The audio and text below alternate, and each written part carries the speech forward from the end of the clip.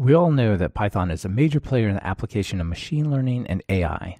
This often involves grabbing Keras or TensorFlow and applying it to a problem. But what about AI research? When you're actually trying to create something that has yet to be created, how do researchers use Python here? Today, you'll meet Alex Lavin, a Python developer and research scientist at Vicarious, where they are trying to develop artificial general intelligence for robots. This is Talk Python to Me, episode 124, recorded May 31st, 2017. Developers, developers, developers, I'm a developer in many senses of the word, cause I make these applications, but I also use these verbs to make this music. I construct it line by line, just like when I'm coding another software design. Cases, it's about design patterns. Anyone can get the job done, it's the execution that matters. I have many interests, sometimes it. Welcome to Talk Python to Me, a weekly podcast on Python, the language, the libraries, the ecosystem, and the personalities. This is your host, Michael Kennedy. Follow me on Twitter where I'm at mkennedy. Keep up with the show and listen to past episodes at talkpython.fm and follow the show on Twitter via at talkpython. This episode is brought to you by Linode and TalkPython Training. Be sure to check out what the offers are for both of these segments. It really helps support the show. Alex, welcome to Talk Python. Hi, thanks for having me. Yeah, I'm pretty excited to talk about AI, researching AI, and all the stuff that you guys are up to. It's something we haven't really touched that much on on the show, and it's both interesting at a low level technical level, but also at like a philosophical level almost. So, looking forward to talking to you about it. Yeah, but before we get into the details, let's start with your story. How did you get into programming in Python? Well, my background is a bit untraditional for what I do. I actually studied mechanical and aerospace engineering at school, and I was determined to make a career as a spacecraft engineer. And even some of the mechy assignments where we used MATLAB, I, I hated those. but that eventually led me to Carnegie Mellon to study space robotics. And Oh, nice. the atmosphere there is incredible. Uh, it's hard not to get caught up in software and AI. And that was really my first exposure to AI. That's cool. When I think of universities that are like cool and amazing in programming and robotics and things like that, you know, Carnegie Mellon is like right there. You know, maybe Stanford, MIT, Carnegie Mellon, like those are the top three, in, at least in my mind. Yeah, absolutely. And I was fortunate enough to work with this incredible roboticist, Red Whittaker, who was one of the, I guess, founders of the DARPA Grand Challenge of autonomous vehicles. Oh, I was going to ask you about the DARPA Grand Challenge. Uh, Tell people about what that is. That was such an amazing thing. Yeah, so that started back in uh, 2003 or 2004, and it's just a challenge to uh, create an autonomous vehicle that drives across the desert down in Mexico. And the first year was, you ask most people, a complete failure, but it really kicked off all of this research. And then the next year, it was won by, I believe, Sebastian Thrun and his team from Stanford. Yeah, and I think so. now it's just a, almost a piece of cake for these autonomous vehicles to complete the course. Didn't uh, the Stanford team eventually more or less move over to Google for their Google car stuff? Do I have that put together right? Yeah, I believe a lot of them went over there. And Sebastian Thrun, I think he is very involved in the Udacity effort. They have a self driving cohort. Okay. Yeah, yeah, that's that's really cool. So when you talk about the car driving through the desert, it's not it's not like it just drove a little ways. There's basically a dirt path through the open plains as well up on into the mountains for like a hundred miles, right? Oh, yeah, you can check out some of the videos from these races.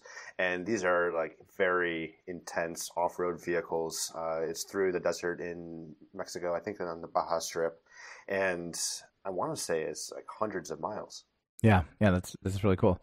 So yeah, there's a there's a great Nova on this called the Great Robot Race. I'll be sure to include it in the show notes. Oh, cool. Yeah, yeah, it's it's really really neat, but it's super inspiring. And this is the not the first year, but the second year that they like did the documentary.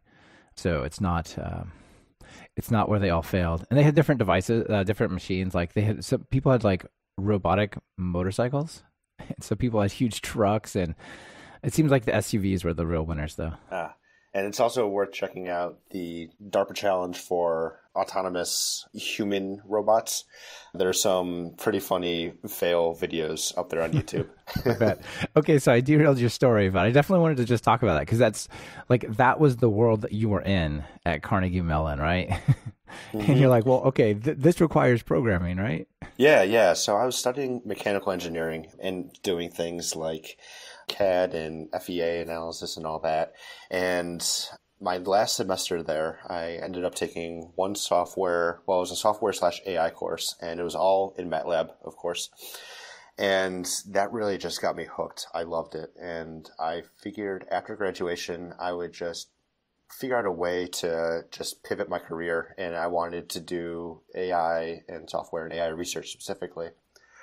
So naturally, well, Python seemed to be a natural fit. And I started teaching myself Python and then at the same time dove into any AI textbook and paper I could get my hands on.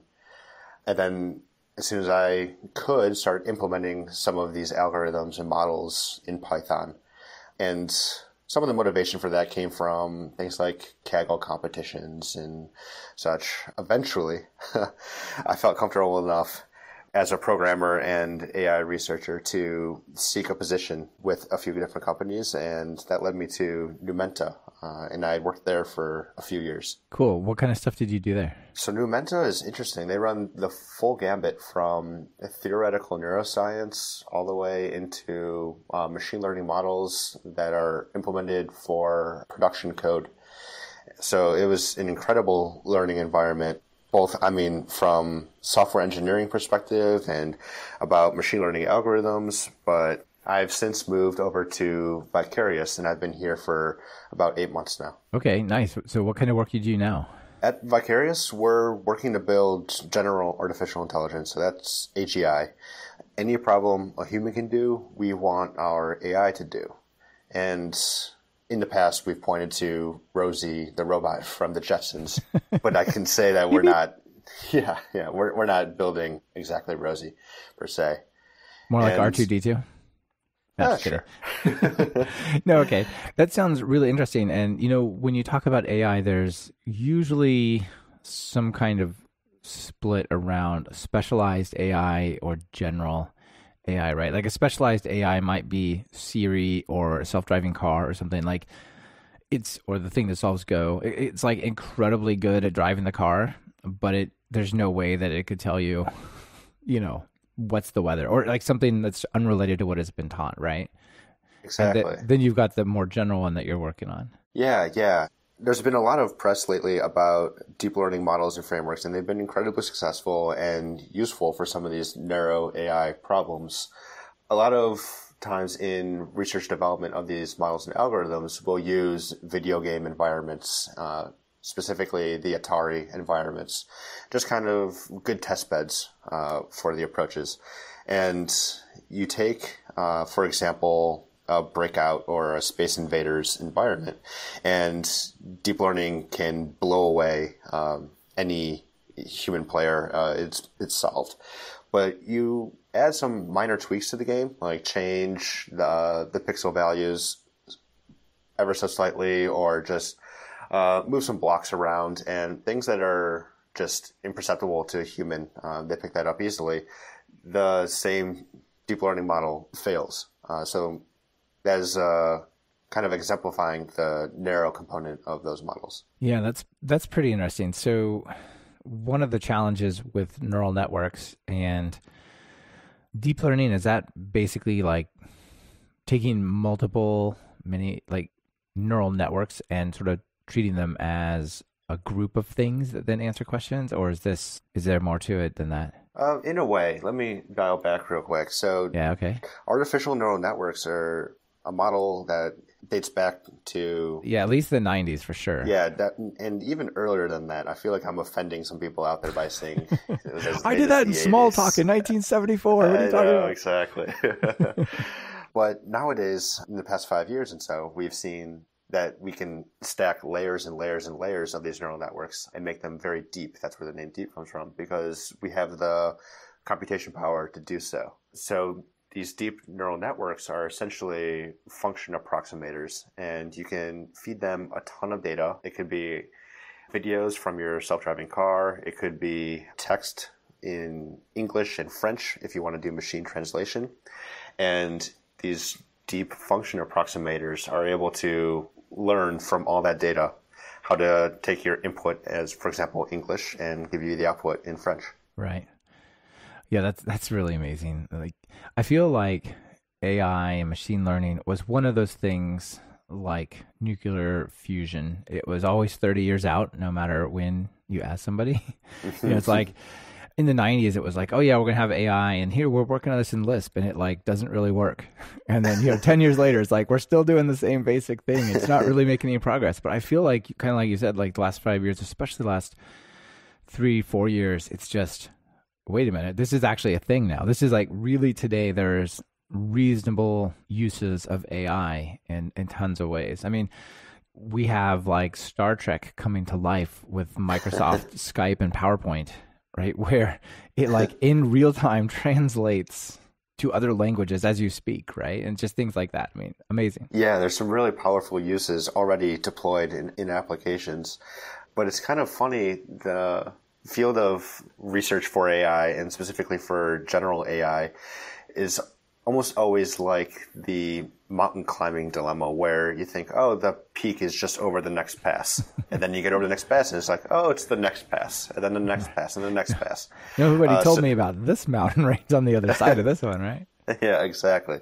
So uh, we do have some pretty powerful AI nowadays, but we keep pushing the limits and pushing the limits and defining this path to AGI as we go. Yeah, yeah. So one sequence maybe is you talked about we had the neural networks, they could kind of do a thing. We had the deep learning neural networks that are really good at stuff, but you make minor changes and they're kind of entirely lost, right? So it's on one hand we've built these things that you can train and they do a thing, but maybe they can't adjust so much. So is is one of the new areas of like how do you evolve like a deep learning model or something like this? Yeah, this is a big area of deep learning research is the ability to generalize across tasks. So you would be able to take uh, your example, AlphaGo, the deep learning model that has been defeating the Go champions across the world, and try to generalize that to maybe just a slightly different game board. You can use a larger game board, for example, or even generalize that to a different game entirely, like chess or something. But here at Vicarious, we're taking a, a bit of a different approach. Uh, we aren't using deep learning as much as other AI research shops around. We specifically are taking a more structured model based approach using probabilistic graphical models. And we're finding that our models and algorithms are much more attuned to things like generalization and unsupervised learning, which are some problems in the deep learning community. Yeah, yeah. That sounds uh, sounds so interesting to work on. So maybe tell us like we most of us listening know what it's like to write software, create like some utility, write a web app or whatever. How does like working on AI research projects how much is that the same or different than writing a web app? Hmm. Well, the workflow is pretty similar to a lot of uh, software engineering companies out there. At a high level, it's really just agile practices. We iterate and move very quickly, but the difference is these are through experiments, experimenting on our models and algorithms, not really through product releases. Right. You don't just plan it out and say these are the features we want. I'm just going to build them because you don't necessarily know what the answer is, right? Yeah, exactly. So we don't have a Kanban board of tasks and picking up and everything that you discuss at Scrum or something. It's a lot more loose than that, and develop and researchers here, a lot like developers in agile workflows, have a lot of freedom, and we need that to come up with these short-term ideas and long-term ideas and flesh them out and experiment on them. So when we're building our code bases and our experiments, well, I like to think of developing uh, software engineering code into kind of three classes. There's research, prototype, and product code. And we mostly dabble in the research and prototype code, where research code is You're quick and dirty. You're moving fast through experiments. Hacky code is okay. Test coverage is usually discouraged because it slows you down. Right. And then prototype is a step up where we want well designed, well architected for data flow and interfaces. We want unit and inter- integration test coverage, style standards like PEP8, and documentation. But still, the mentality is this is code that will someday be scrapped. So you're not married to it. It doesn't have to be beautiful, 99% test coverage. Yeah, that makes a lot of sense. It it seems like you just want to play with the code in the beginning, and then once you have an idea, like, all right, now this looks like it's going to work. Let's go try to like really build this out and see what what this does, huh? Well, almost. The workflow is a little bit different because it, it really starts with theoretical and mathematical foundations. So hmm. when we get some sort of research idea, if it's defined as just a problem that you want to try to solve or some new constraints on a different experiment, we first go through, okay, what are the mathematical foundations of this? And we derive things like message passing algorithms over factor graphs. And then we take that math and abstract it into software. And that's how we build our experiments. And then we do simple little toy problems of these experiments to really inspect the models and algorithms. And then we get into things like building well designed software and everything. Sure. And do you guys use Python for a lot of this? Yeah, absolutely. Python is the main language that we use here, and it's really becoming ubiquitous in machine learning and AI. It's elegant with a really simple syntax. We can iterate quickly, and it's relatively easy for people to learn. A lot of AI researchers come straight out of academia and just toiling with MATLAB for their PhD for five years. So they need to learn how to actually program, and Python's great for that. Yeah. And then on top of that, Python's really powerful. I love the phrase batteries included. Um, there's so much that comes with the standard library and then tons of PyPI packages that you can throw on top of that. And Python sometimes gets some uh, flack for being a little slow, but it's really easy to control uh, a C++ backend and integrate with some C C++ code. Right. So maybe you prototype it out and this part is like not quite fast enough. So you could say, well, let's write this in Python or write in C and then bring it into our Python app or something Yeah, like that. yeah, absolutely. Of course, we profile and optimize algorithms first. So if an algorithm is something like O n squared because we have nested for loops, but can be refactored into something sublinear, we do that. And then we do more profiling and see, okay, this is really a bottleneck. Let's port it to Python. Yeah, sure. So that's a really good point. To, even though maybe you could make it run 10 times faster or something in Python, if you have an algorithm that has a super high complexity, it doesn't really matter, right? If you're going to have to take Yeah. more and more data, like it's really the algorithm that's the problem. And, you know, a lot of people have pointed out that working in Python, it's easier to conceptualize and, and evolve the algorithm. And then if you have to, to optimize it further, right? Oh yeah, yeah. It's pretty straightforward to have an idea and then say, okay, I'm going to implement this in some nested loops, but God, this is awful and ugly, and I'm just going to put it to do and come back and vectorize this, and then you come back and fix it, and it's just magnitudes faster. Nice. So maybe tell us a little bit of some of the tools that you use. Like Python is pretty obvious, but uh, things like TensorFlow, Keras, NumPy, SciPy, those types of things. Yeah, yeah. We use TensorFlow for some of our projects. It's really becoming very popular in the AI and specifically deep learning community where distributed computing over tensor graphs Right. is really valuable. Yeah, maybe for people who are not familiar with TensorFlow, just give them a quick elevator pitch. What is it? Oh, sure. So TensorFlow, it's offered in more than Python at this point, but the main API for it is Python. And it abstracts away a lot of the C and C++ computations for parallelizing tensors, which are basically just symbols that are distributed over these computation graphs. And they offer some really cool tools for visualizing these computation graphs as you're doing things like training your model distributed across uh, clusters or running inference on these models too. Nice. Okay. Yeah.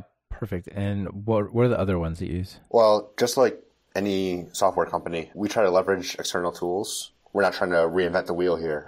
so a lot of our vision utility functions, for example, are handled with toolkits like OpenCV, mm-hmm. which is C++ with Python bindings. So a lot of that is pretty fast. And SciPy, like you mentioned, for operating on NumPy arrays like Gaussian filters and convolutions. It sounds like there's a lot of math involved and some pretty interesting programming.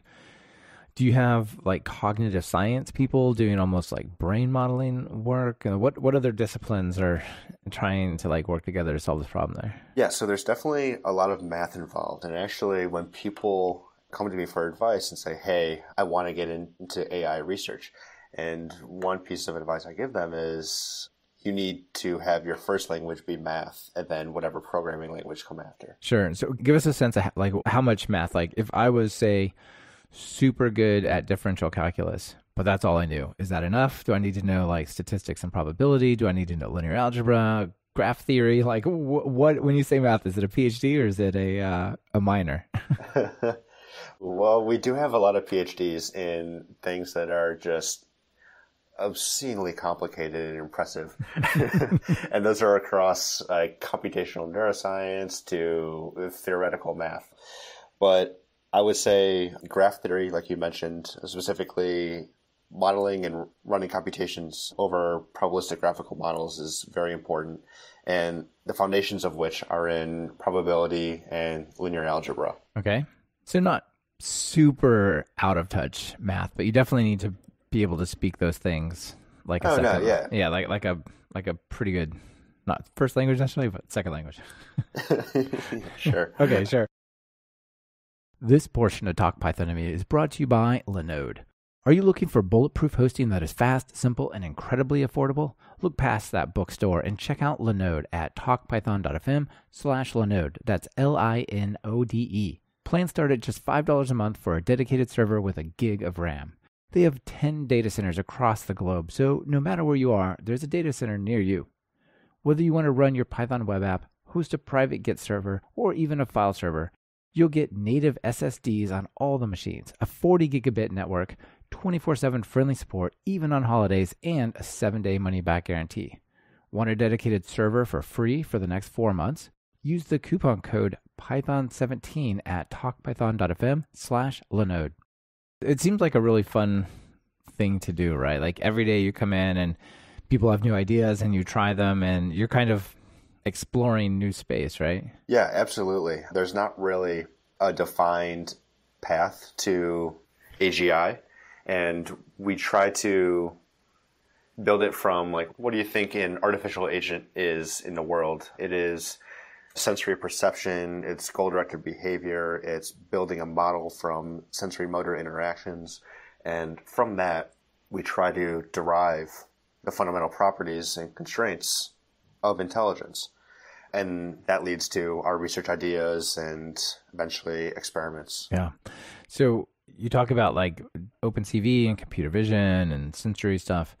How much of what you're working on do you hope exists in the real world, and how much are you saying thinking like if we could make a digital thing that could just live, say, on devices on the internet and only interact digitally, right? Not actually see the world, but you know, interact with people, say with voice or text or things like that. Hmm, interesting. So at Vicarious, we're specifically building AI towards robotics. Any robot, any task, we build a brain for it. That's our initiative here.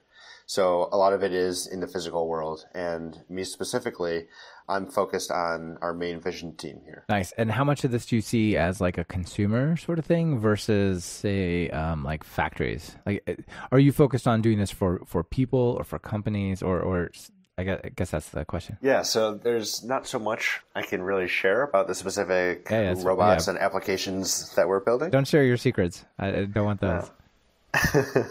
uh, but the idea is like we want to build general AI, so all of the things. Yeah, that sounds it sounds really cool.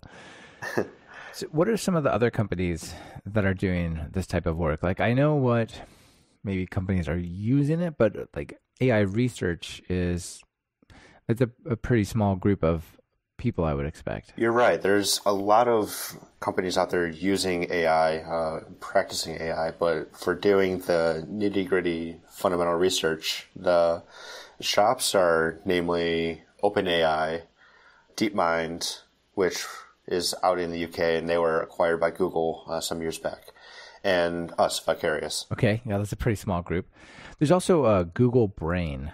Uh, how do Yeah. you do you know what the relationship between like Google Brain versus DeepMind is? They're not even the same continent, right? no, and I've heard some conflicting information from people on the Brain team and people on the DeepMind team, but as far as I can tell, DeepMind is kind of a separate entity. They, they don't interact too much on projects. DeepMind is much more building towards general AI, and Google Brain does AI research, but a lot of it is directed more towards the applications for Google. Sure, makes sense. Do you consider companies like Uber or you know Google, Alphabet's Waymo, sort of self-driving car type things? Would you put them into this bunch, or do you think of them more as like using AI? I would say using AI. So my understanding of a lot of these companies, specifically the self-driving car companies, is they're looking at what sort of deep learning models can I use for my vision problems, my LiDAR sensor problems, and my motion planning problems. And they'll take existing models that are out there from toolkits such as TensorFlow or PyTorch or Keras even, and then they'll tweak those for their specific problem. So that's more of a hyperparameter tuning type work, not so much the real fundamental research. Right. Okay.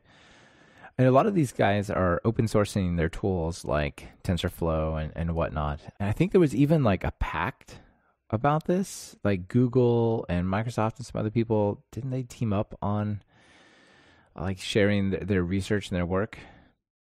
It's been like a like a year since I've heard about this, so my details are flaky. Sure. Well, there's been some collaboration over sharing these research environments. So, like I mentioned, video games are often a testbed that we use a lot. So, Microsoft has developed Minecraft to be a testbed for AI development, and OpenAI has released their Gym for different AI agents, and then also Universe, which is just a big collection of all these different games. And I believe there was some collaboration or teamwork between the two of them. Okay, cool. Yeah, Universe sounds. Uh, I heard about that a while ago. That sounds really pretty wild. And as an AI research company, do you do you guys find stuff like that useful? Like, hey, I could take this AI and drop it into Counter Strike, or I could drop it into uh, Pitfall, and all these different places where it can interact. Is this helpful? Yeah, yeah, definitely helpful. Uh, we haven't explored Universe so much here at Vicarious, but we also build some internal environments that are very similar. Mainly, we use internal tools because then we can define an API that might give us some different information than some of those APIs expose. But it's definitely helpful to have a lot of test beds and use cases out there. Yeah, it seems like if you were, say, a grad student writing a master's thesis, being able to just plug into different video games is like a super big boost. But if you're a full on many person AI research company, you need something that you can like exactly tweak the environment just so like I want to understand how the the robot interacts with like the squishiness of an object, right? Which you probably Yeah. can't get in like Unreal game or something, right? Yeah, exactly, exactly. And a lot of this open sourcing is specifically targeting those grad students in universities. I see open sourcing these toolkits and also for the same reason why all these companies are publishing a lot of their papers as a recruiting tool. Yeah. Because a, a lot of AI researchers are very academic at heart. We want to share our information and help each other. So the more that these big companies are sharing and being open about what they're building, the more that it can attract top talent. Yeah, so companies like OpenAI and Google might have a better chance of getting somebody who's mostly interested in the research side of thing than say Apple. Yes, exactly. Uh, this has been a problem for Apple as of late. Yeah. I guess there's a couple questions around universities like you kind of touched on. One is Do you know if there are like machine learning AI bachelors these days? Hmm. Or is there just computer science and you can focus on that? You know, I don't know if you can major exactly in AI or machine learning, but there are definitely a lot of undergraduate courses that you can take. And from what I've heard, these courses are becoming ridiculously popular. I try to mentor a couple of students from like Stanford and CMU, and I always tell them like, "Oh, there's a, a probabilistic graphical models course. You have to take that." yeah, that's cool. It seems like there'd be a lot more money in working at Google on TensorFlow or maybe with you guys or whatever, rather than saying being a professor at a university. Is there like a, a drain of, of like as professors sort of get their research going, do they get sucked out of academia? yes. For a typical example, I know it's a problem for data science. I, I just don't know about machine learning. It seems like there'd Yeah. be a parallel, right? Oh, there absolutely is. Now, main example of this is Uber going into Carnegie Mellon and grabbing really all of their computer vision researchers a few years back. But I think you largely see more of a collaboration in sorts. So sometimes top professors from universities will have appointments with some companies like OpenAI or Google, and they'll still work with uh, their universities on some of in their research labs on some of their projects, but at the same time work with the industry partner in a way, and that also works as an incredible uh, recruiting tool for these companies. Yeah, and it also seems like it it's probably the best of both worlds, right? You still get to be a professor, you still get to do your research and teach people, but you also get some real world experiments and experience. You're not just, you know, in your in your lab Yeah, poking around, yeah. right? You get to see really what people are trying to do with it. And there's uh, a big difference between trying to just fill out grants and get money and resources through academia versus having some sort of uh, private or public company. And if you need just infinite AWS clusters, you can get it. Yeah, like I need a hundred GPUs in a cluster. Can we do that? Yeah, sure. Here, you push this button. yeah, yeah. It was kind of funny. Um, someone did a blog post on like huge spike in AWS uh, GPU demand the week leading up to the paper deadline for NIPS, which was like a few weeks ago. is impressive. yeah, we got to we got to finish our research. We got to get this going. Yeah, it's yeah, yeah. yeah. So you guys probably do a lot of um, cluster computation stuff like that. Do you use GPUs and other specialized chips or anything? For some of the models that can take advantage of the parallel compute on GPUs, like deep learning models, yeah, absolutely. But a lot of our larger models are still used on AWS, but not necessarily GPUs. Just straight EC2 clusters or something like that. Yeah, yeah. Yeah. All right. Very cool. So we talked about the math requirements, linear algebra, calculus, probability, things like that. But if people, you know, they want to try this out and they want to get started, like how maybe they know Python, but nothing else. Like how would they get get started? I would recommend getting inspired by a model or a problem. Maybe a NIPS paper or something from ICML, or even a blog post that shows some pretty cool results on like natural language processing and dive in that way. Yeah. Do you have some examples of like what a problem might look like? Would they have those at a Kaggle? Yeah, absolutely. Uh, that's exactly how I got inspired. Um, going to Kaggle, and there are a whole slate of machine learning problems that you can dive into, and oftentimes those communities will discuss their approaches and share some of their methods. So that is really good, almost a code first way to dive in. But like I was saying earlier, to build up the math chops to really be able to do AI research, I recommend trying to reproduce paper results. So you pick out a research paper and you go through it, you try to understand the models and the algorithms, the assumptions, the experiments, and then you try to implement that from scratch. it's not easy. You're gonna fail a lot, but it's it's the best way to learn. And fortunately, if you're doing this in Python, a lot of the Python community is very helpful. Yeah. So, what are some of the tools? Uh, maybe the ones we talked about: TensorFlow, Keras, things like that. TensorFlow and Keras, uh, they have some great prepackaged models that you can take out of the box, and even some that point specifically to the papers that they're from, so you can get up and running pretty quickly. Yeah. Maybe a really simple way to get started might be to take somebody who's written a paper or done some project, but it's only in MATLAB, and say, "Let me try to like reproduce this in Python, like just even started from their code, right? Yeah, yeah, that's a good idea. You could kind of like take it, like, let me not actually try to solve the problem, but just take it technically through the steps of like creating it in Python and seeing how that goes. And then you've kind of got that experience. And then you can go and try to like actually solve it independently. Yeah, ultimately, it comes down to just trying to build a link, a mental model of how the math is connected to the software implementation. And if that's building the code and then trying to figure out how the algorithms and equations are defined there. That works best for you, go for it. If it's more of a bottom up approach, do that. Yeah. Yeah. Cool.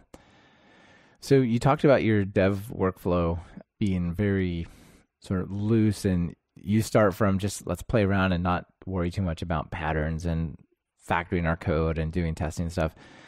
What are some of the pain points that you might end up with from like that workflow? Because we move fast and it's a lot of research and prototype code, we can build up some technical debt.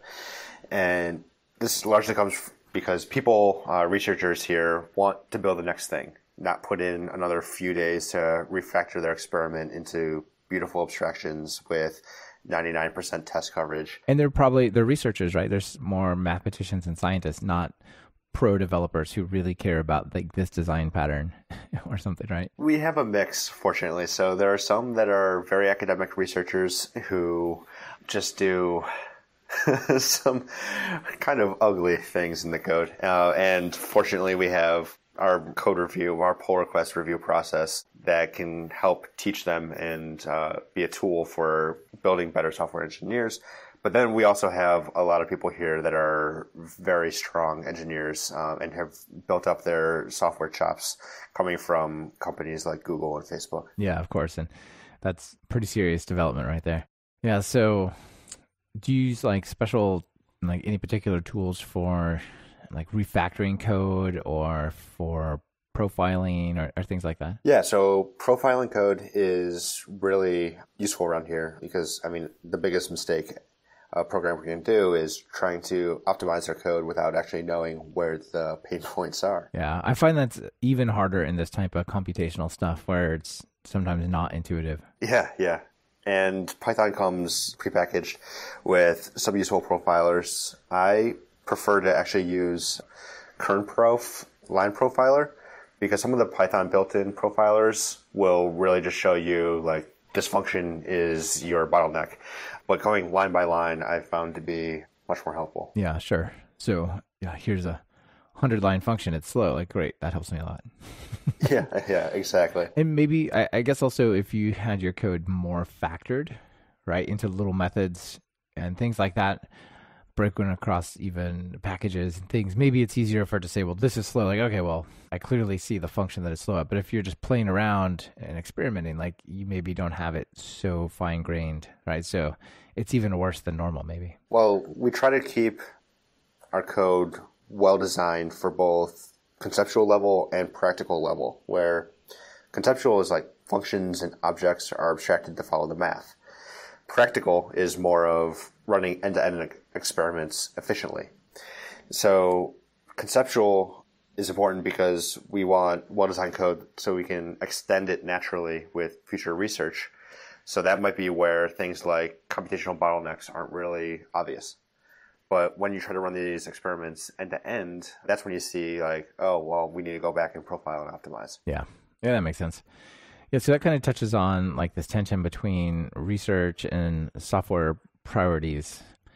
Yeah, how do you, how do you keep those in balance? Like, what are the trade offs there? Hmm. Well, it's interesting because the research rewards, experiment results, and maybe sharing some cool figures and visualizations with the team are more near term, while the software was rewards like benefits of a clean, well documented code base, those are farther off. So it makes it difficult to prioritize good software like refactoring and cleaner abstractions. I found it very helpful to try to communicate, overly communicate, actually, the value of high quality software. Like maintainable code base makes onboarding new engineers much smoother and they can get up and running and contributing much faster.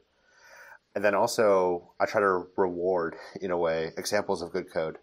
An example recently was there was a good use of dunder slots for fast attribute lookup in a PR I was reviewing the other day. Yeah, so maybe tell people about dunder slots. Like it's oh yeah used in the right time in the right place it can like dramatically change memory and performance and uh, it's interesting I, but we haven't talked about it much of the show so what are what's dunder slots oh sure so my understanding of it is basically when you have a class in python and you have attributes for that class it automatically will create this dunder dict object and if you don't need that representation for every attribute of your class it could be a lot of overhead to do lookups in that dunder dict.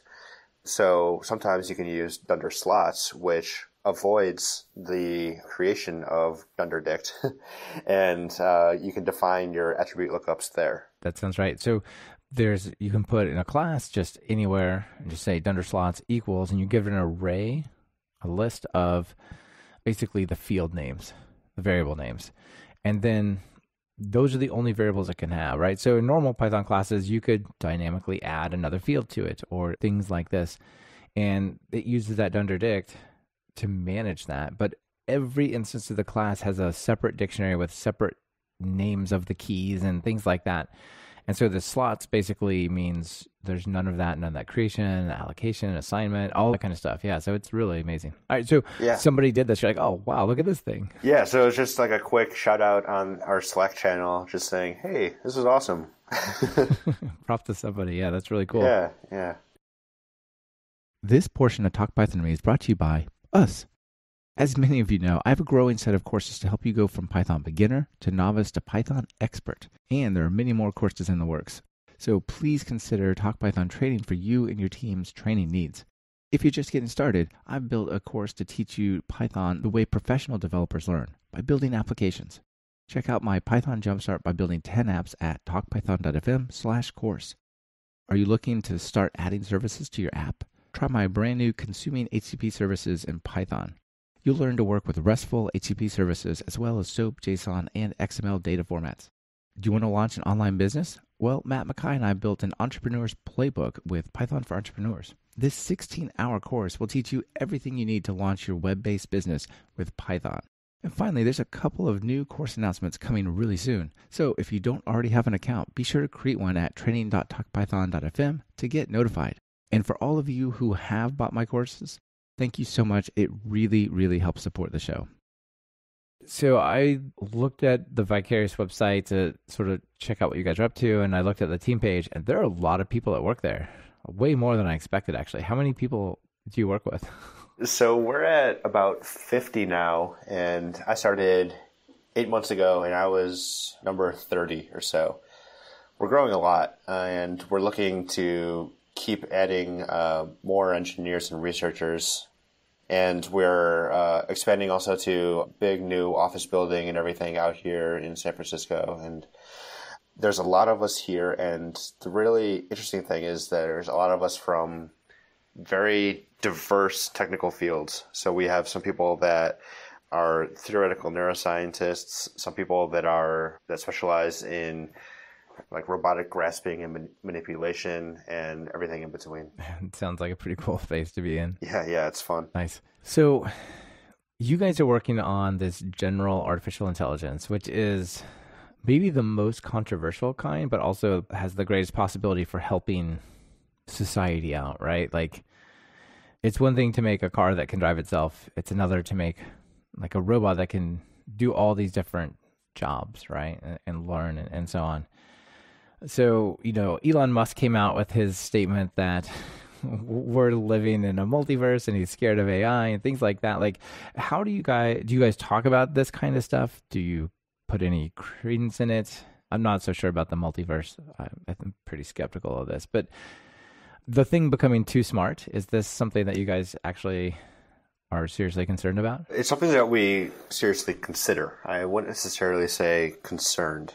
And it's funny, uh, whenever I, I meet random people and say what I do, I end up having this conversation a lot. I bet you're like, oh my gosh, here we go again. yeah. No, we're not living in a multiverse. This, this, this. Right? You just like name off the.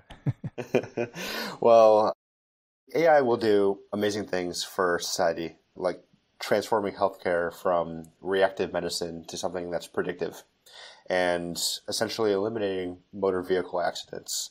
Like, I dream of the day I can ride my bike around San Francisco and not worry about someone slamming into me. Yeah, yeah, absolutely. But on the spectrum of fear and optimism, where the former are guys like Nick Bostrom, who wrote that superintelligence book, and Yeah. Elon Musk, and then the latter, where the optimists are those of like the futurists, Ray Kurzweil.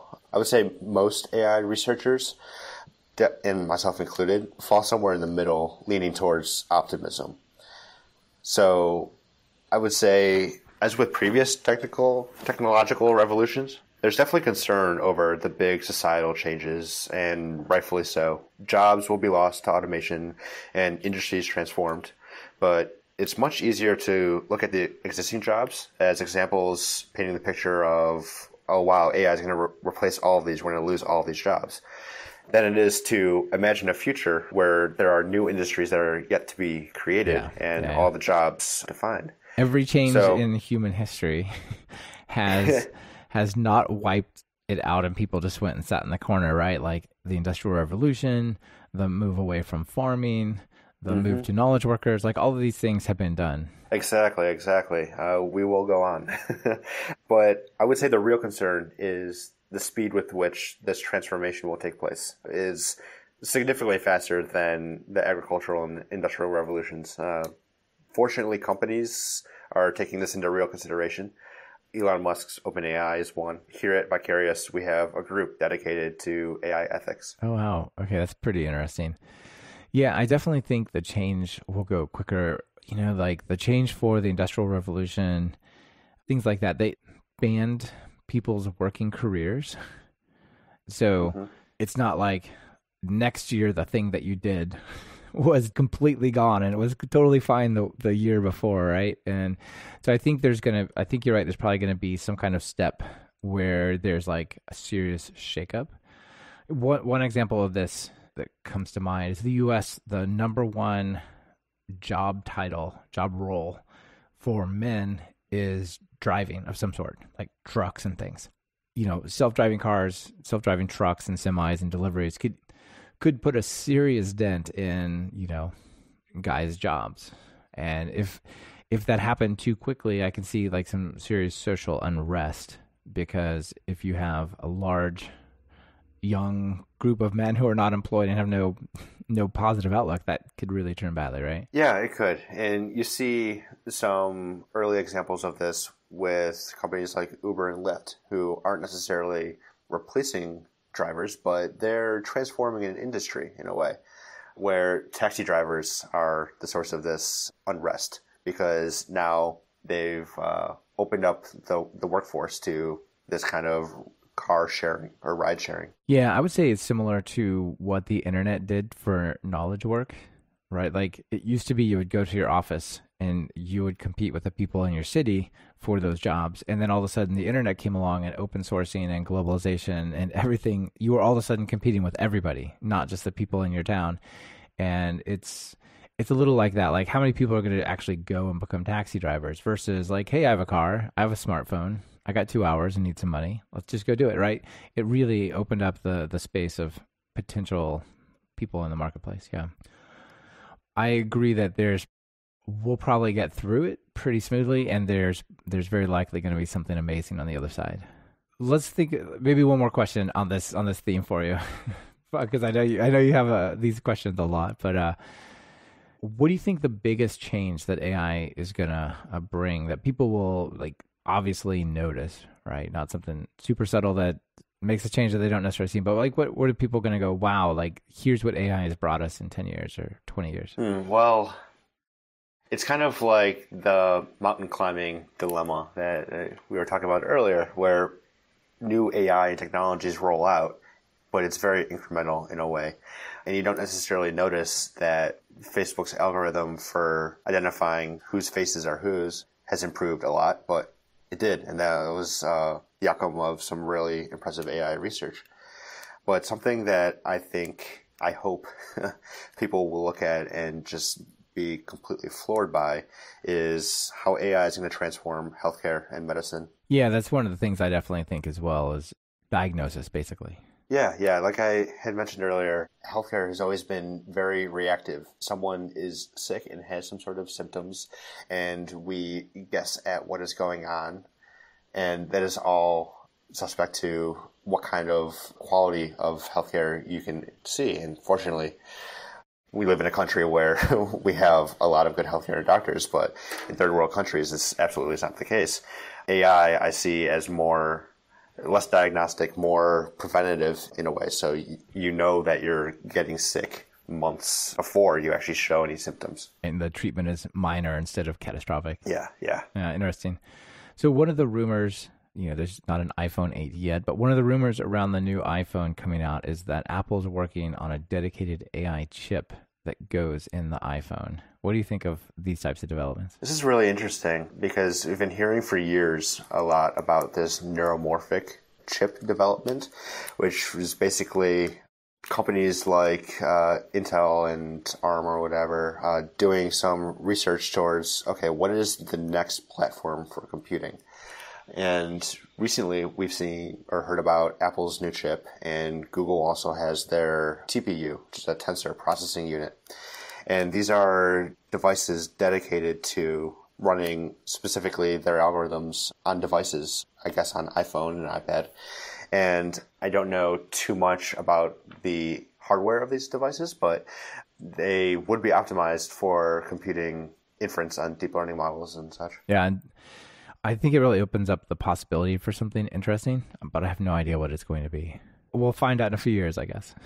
yeah, the exciting thing is a, a, lot of the work in AI is no one knows what it's going to be. yeah, that keeps it keeps it fun. All right, Alex, maybe we should leave it there for the AI topic. I, I really appreciate you sharing what you guys are up to and your thoughts on AI research. Yeah, I'm glad you guys are interested. Yeah, it's cool. All right, so now time for the final two questions. So when you write some of your deep learning Pythonic code, what editor do you open up? Oh, I definitely go for Sublime. There are some add-ons like GitGutter I like a lot and PyFlakes linter. And then for C++, I'll use CLion. Yeah, okay, cool. Yeah, definitely the, the plugins for Sublime are cool. And I played a little bit with CLion, but I just don't have enough C++ code to write. So it, looks neat, but I haven't done anything with it. And um, notable PyPI package. Oh, there's so many. The one I mentioned earlier, kernprof line profiler, has saved my neck many times. and then also, I like working from the command line a lot. A lot of people in research will use Jupyter notebooks for the interactive visualizations, but working from the command line, I like ptpython. Oh yeah, I love ptpython. That's that's great. Yeah, I use that as well. Yeah, the, the tab complete is, so clutch. But then also argparse, I love a lot because I can just throw an experiment in a script and then have some parameters that I define at the command line. Yeah. All right, awesome. Those are three good recommendations. So, final call to action? Well, if you're trying to get into AI research, like we were discussing earlier, you can definitely check out some of these toolkits that have prepackaged models like Keras and TensorFlow and PyTorch. But you should try to implement, for example, a convolutional neural net in NumPy code. Uh, that's how you really learn what's going on. All right. So start from the ground up and figure it out, then use the tools, huh? Yeah, yeah. All right. Excellent. So thanks so much for being on the show and sharing your story with everyone. Appreciate it. Yeah, thank you for having me. You bet. Bye. This has been another episode of Talk Python to Me. Today's guest has been Alex Lavin, and this episode has been brought to you by Linode and Talk Python Training. Linode is bulletproof hosting for whatever you're building with Python. Get your four months free at talkpython.fm slash Linode. Just use the code Python17. Are you or a colleague trying to learn Python? Have you tried books and videos that just left you bored by covering topics point by point? Well, check out my online course, Python Jumpstart by Building 10 Apps at talkpython.fm slash course to experience a more engaging way to learn Python. And if you're looking for something a little more advanced, try my Write Pythonic Code course at talkpython.fm slash Pythonic. Be sure to subscribe to the show. Open your favorite podcatcher and search for Python. We should be right at the top. You can also find the iTunes feed at slash iTunes, Google Play feed at slash play, and direct RSS feed at slash RSS on talkpython.fm. Our theme music is Developers, Developers, Developers by Corey Smith, who goes by Smix. Corey just recently started selling his tracks on iTunes, so I recommend you check it out at talkpython.fm slash music. You can browse his tracks he has for sale on iTunes and listen to the full length version of the theme song. This is your host, Michael Kennedy. Thanks so much for listening. I really appreciate it. Smix, let's get out of here. Stating with my voice, there's no norm that I can feel within. Haven't been sleeping, I've been using lots of rest. I'll pass the mic back to who rocked it best. Developers, developers, developers, developers, developers, developers, developers.